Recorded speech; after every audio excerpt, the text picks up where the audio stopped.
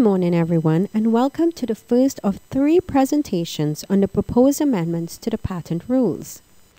This presentation will focus on the proposed amendments related to the topics of filing, priority, completion, and representation of the rules.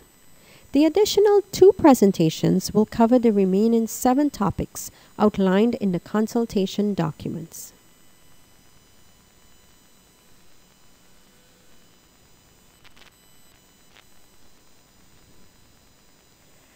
As part of the Canadian Intellectual Property Office's core vision, or CIPO's core vision, to enhance innovation and contribute to economic success in Canada, we are committed to improving the quality of our products and services.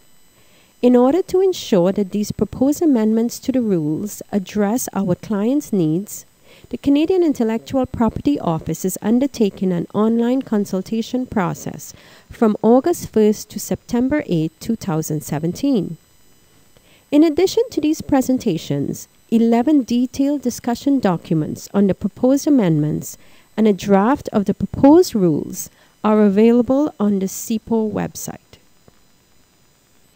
Your feedback, comments, and suggestions on the impact of these proposed changes are an important step to this process and will help support the implementation of the proposed amended rules. This consultation has three main objectives to inform stakeholders of proposed changes to the patent rules, to provide the policy rationale behind the changes, and to obtain feedback, questions, and comments on the draft rules.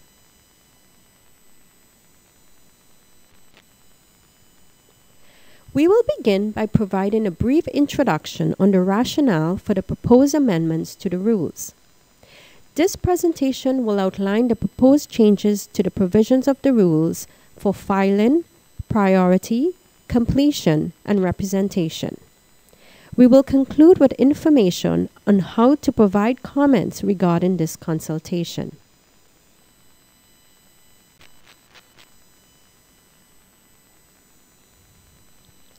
These changes stem from the government's initiative to modernize Canada's intellectual property or IP framework. The government first announced plans in 2014 to join five widely recognized international IP treaties the Madrid Protocol, the Singapore Treaty, the Nice Agreement, the Patent Law Treaty, and the Hague Agreement concerning the international registration of industrial designs, abbreviated as the Hague Agreement. To give a bit of context, these proposed rules were drafted following two series of amendments to the Patent Act, which received royal assent on December 16, 2014, in Bill C 43 and on June 23, 2015, in Bill C 59. The amendments are not yet in force. They will come into force once the necessary coordinating amendments to the patent rules come into force. These amendments to the Patent Act and the proposed amendments to the patent rules are required for Canada to accede to the Patent Law Treaty. While the majority of the proposed amendments for the rules are required in order to comply with the requirements under the treaty, other amendments were made to undertake a broader review and renumbering of the rules. The amendments will increase legal certainty, streamline and clarify the Canadian Intellectual Property Office's processes and procedures, and align Canada's patent protection regime with that of its international trading partners. A modernized patent framework will enable Canada to keep pace with leading international standards and benchmarks, in turn, helping Canadian businesses stay competitive in international markets by giving them an efficient means of protecting their intellectual property in various jurisdictions around the world. A regime that is aligned with other jurisdictions will also lower the cost and increase the ease of doing business here to the benefit of both Canadian businesses and those looking to invest in Canadian markets.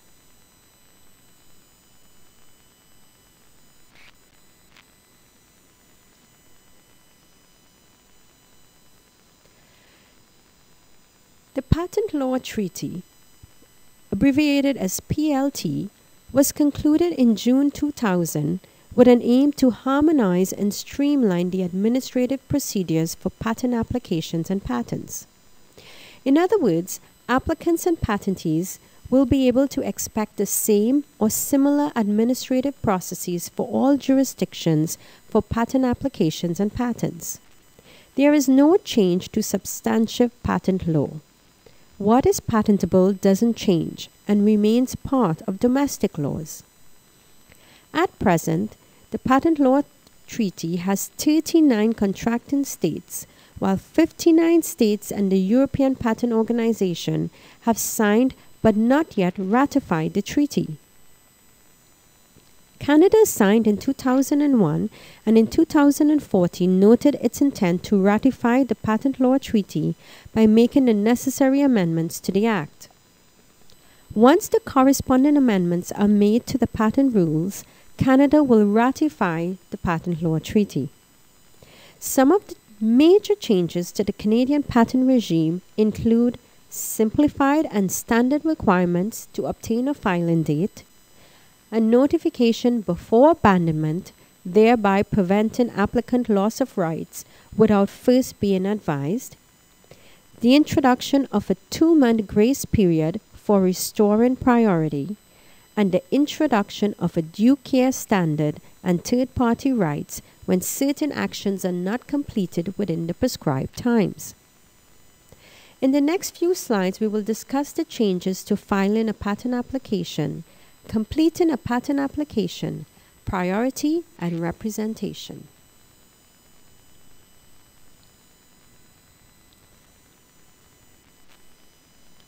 Let's begin with the proposed amendments to file a patent application. Through a patent, the government gives the owner the right to stop others from making, using, or selling your invention from the day the patent is granted to a maximum of 20 years after the day on which you filed your patent application. In order to secure a filing date, the application must comply with the minimum requirements to obtain a filing date. Those minimum requirements have been simplified under the Patent Law Treaty.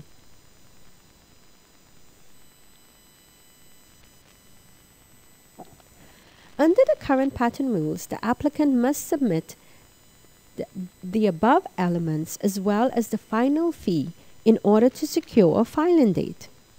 The description, the document that describes the invention, must currently be in English or French. Under the proposed amendments to the patent rules, the filing fee is no longer required to secure a filing date. The amendments also allow the description, the document that describes the invention, to be submitted in any language. Although the information requirements regarding the applicant and their contact information have been lessened, the Canadian Intellectual Property Office will continue to encourage applicants to fully and correctly identify themselves, as well as their complete address and other contact information when they file a patent application. This will help reduce confusion for both applicants and the office when processing the application.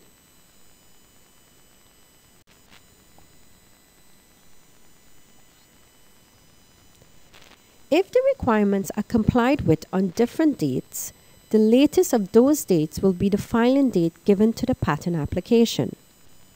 If the minimum requirements are not met, for example, there is no document in any language that appears to describe the invention, then the Commissioner will send a notice requiring the submission of the remaining requirements within two months of the date of the notice. If they are not submitted within those same two months, then the application will be deemed to have never been filed. An application no longer requires a filing fee to be paid at filing. However, not paying it at that time will result in a $150 late fee. If the filing fee is not paid on the filing date, the Commissioner will send a notice to the applicant requiring the filing fee and a late fee of $150 to be paid within two months of the date of the notice. If the fee is not paid within those same two months, then the application will be deemed withdrawn. Although the document describing the invention, that is, the description, does not need to be in English or French to establish a filing date, the applicant is required to submit a translation into English or French of any part of the specification, the part of the patent application that contains a description of the invention, or drawings that on the filing date was not entirely in English or French. For more information, please see the consultation document entitled Filing Requirements.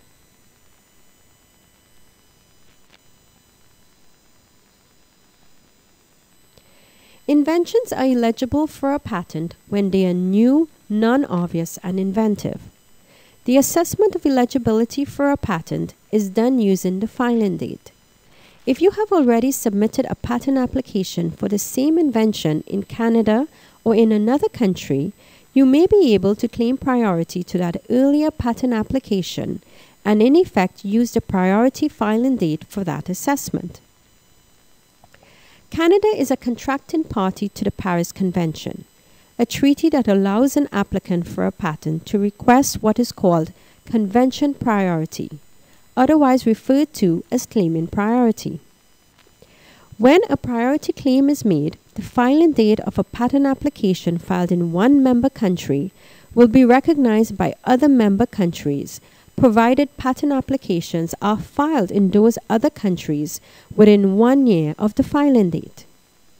It is also possible to claim priority in a Canadian application based on an earlier filed Canadian application. For example, if you filed a patent application in Canada on January 2, 2017, you could file up to one year later in most countries, including Canada, up to January 2nd, 2018, and still be given the same rights as if you had filed the application on January 2nd, 2017, when you claim priority. Some amendments have already been made in the Patent Act with respect to priority. There are additional proposed amendments in the patent rules with respect to priority.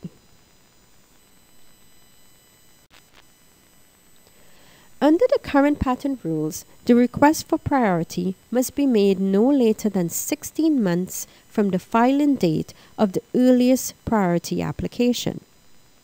The proposed amended rules would impose a limit to make a request for priority before the application is open to public inspection. If it is not open to public inspection, then a request for priority may be made before the later of 16 months from the earliest priority or 4 months after the filing date. Under the current patent rules, the information contained in a priority request may be corrected by submitting a request to correct a clerical error under Section 8 of the Patent Act. If made within the timeline to make a priority request, it is possible to withdraw the incorrect request and submit a new one. Section 8 of the Patent Act has been repealed, though it is not yet in force. Under the proposed amended patent rules, there are new provisions regarding corrections of information in priority claims within specific timelines. More information on corrections to priority information will be presented in the third webinar of this series, as well as the consultation document entitled Corrections.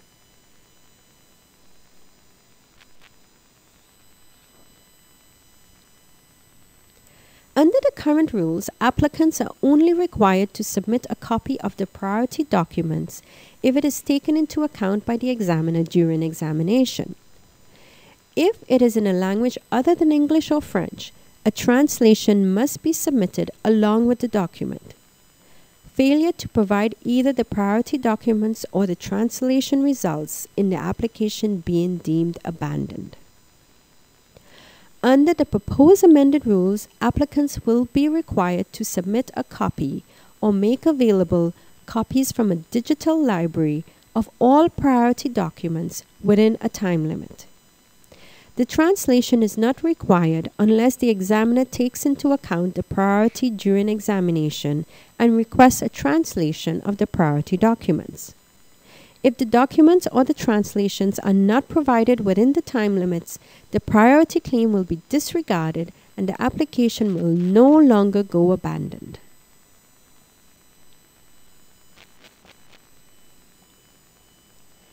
Restoration of the right of priority is not available under the current Patent Act and rules. Approved changes to the Patent Act, not yet in force, provide for the restoration of priority where a subsequent application is filed within two months after the expiration of the priority period. That is, from 12 to 14 months from the filing date of the earliest filed application.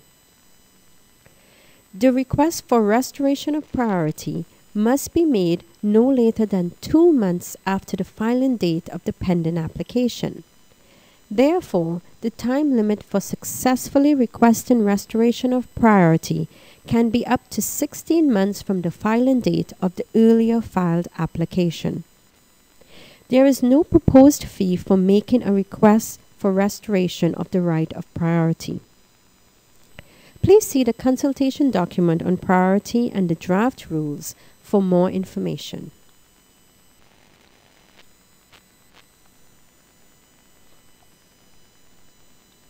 A patent application consists of many parts, only a few of which are required to obtain a filing date.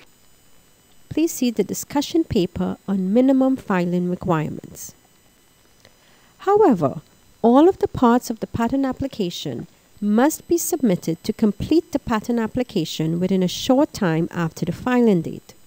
The parts required for a complete patent application will not change under the amended patent legislative regime, though there will be some proposed changes regarding how and when an application is to be completed. The current patent legislative regime requires a sum of parts for a complete patent application.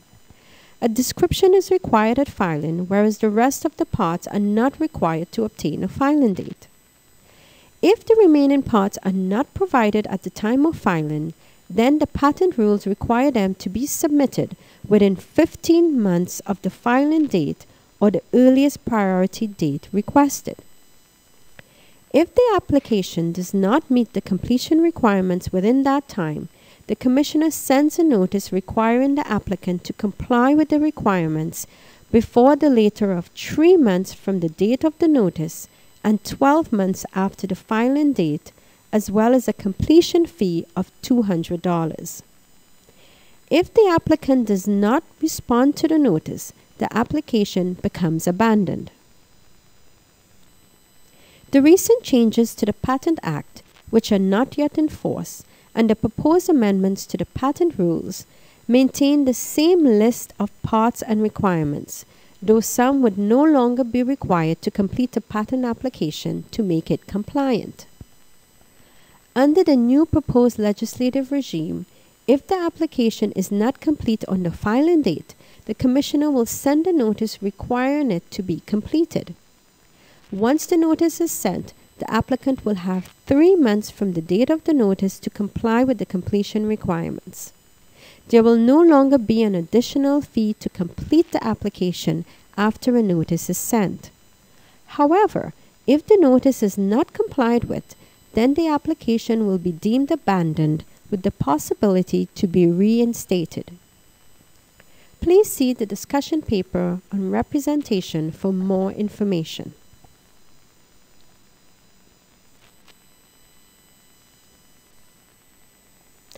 The proposed amendments to the patent rules maintain the current provisions for patent agent exams, eligibility, registration, and maintenance of patent agents on the patent agent register. The current patent rules imposes limits on who the patent office can communicate with during the patent application stage. The patent office can only communicate with the authorized correspondent, which is typically the appointed patent agent. Proposed amendments to the patent rules will allow more flexibility with respect to who can represent the applicant and communicate with the Patent Office regarding certain actions to prosecute and maintain a patent application. The proposed amendments will also introduce the concept of a common representative. There is no common representative under the current patent rules. The proposed amendments define which applicant is the common representative when there is more than one applicant. A common representative is one of multiple applicants or patentees and allows him or her to represent them jointly. This concept, similar to the existing one in the Patent Cooperation Treaty, is intended to address situations where joint applicants cannot all sign the same document in a time sensitive procedure, such as the appointment of a patent agent. The proposed amendments also contain default provisions for identifying the common representative when none has been appointed or when they are no longer an applicant or patentee.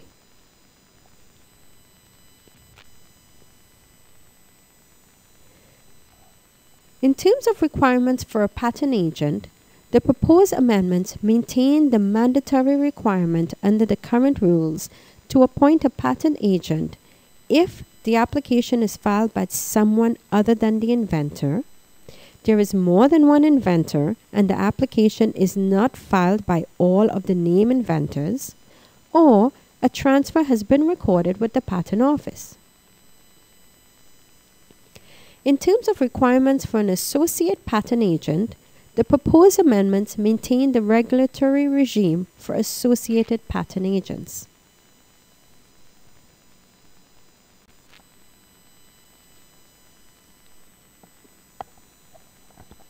If the applicant is required to appoint a patent agent, the Patent Office will send a notice requiring the appointment within three months after the date of the notice.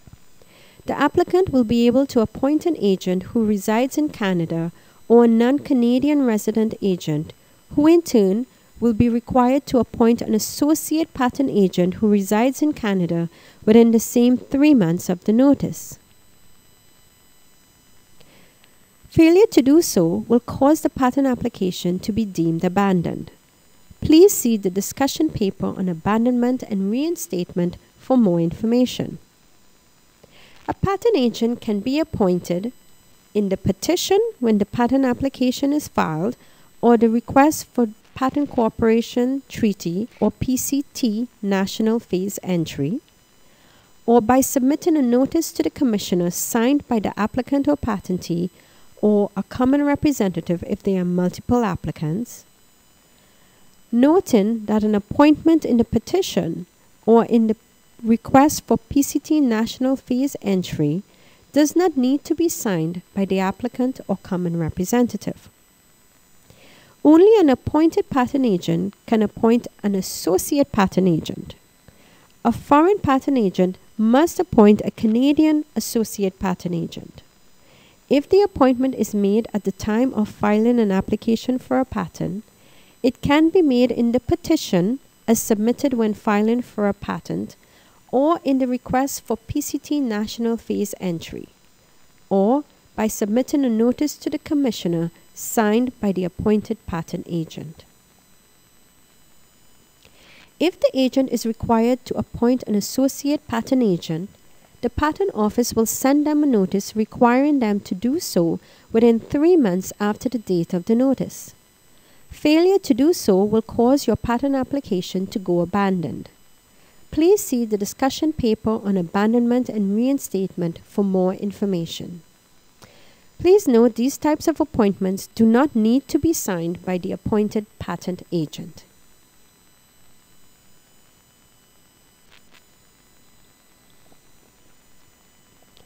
During the application stage, the patent rules impose a limit so that the only person who can take action on the file, whether it is to communicate with the patent office, submit documents, or pay fees is the authorized correspondent. If a patent agent has been appointed, they are the authorized correspondent. Otherwise, it will be the inventor who is also the applicant. Once the patent has been granted, the Patent Office will accept maintenance fee payments from persons authorized by the patentee.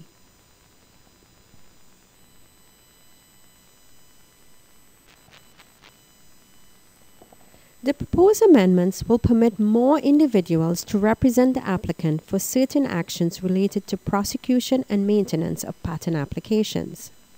In general, the following individual will always be allowed to take action with the Patent Office the appointed patent agent, the sole applicant if a patent agent is not required, or the common representative if there are multiple applicants and if a patent agent is not required. However, there are exceptions where other individuals will be able to perform some actions related to the prosecution and maintenance of patent applications, whether or not a patent agent has been appointed. For example, to submit a patent application or a request for PCT national entry, the appointed patent agent or associate patent agent can always act, as well as any of the applicants or a person authorized by any of the applicants. The same goes for paying maintenance fees for a patent application or a patent. The appointed patent agent or associate patent agent may pay maintenance fees, as well as any of the applicants or a person authorized by any of the applicants. There are also exceptions as to who can request to record a transfer.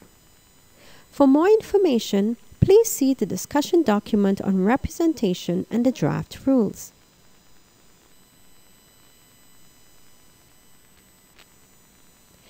At the end of the consultation period on September 8, 2017, comments and submissions received will be reviewed. Stakeholders will have another opportunity to provide comments when the draft rules are published in Canada Gazette 1.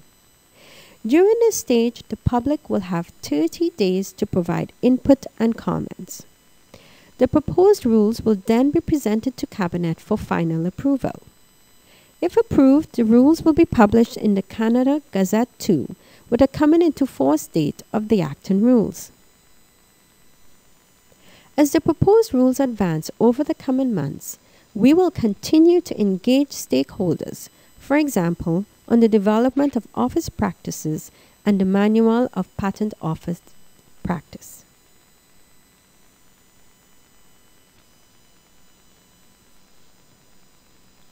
This concludes our presentation on the new provisions of the amended patent rules. Should you have any questions or comments on the contents of this presentation or on the rules, you can visit our website for further information. Here you will find links to key information pages as well as current information on the next steps in this process. To learn more, ask questions, and submit your comments or feedback on the proposed amendments, please email us at the address on the screen. In addition, you can follow CIPO on social media where we will continue to post updates on the consultation process. Thanks for watching.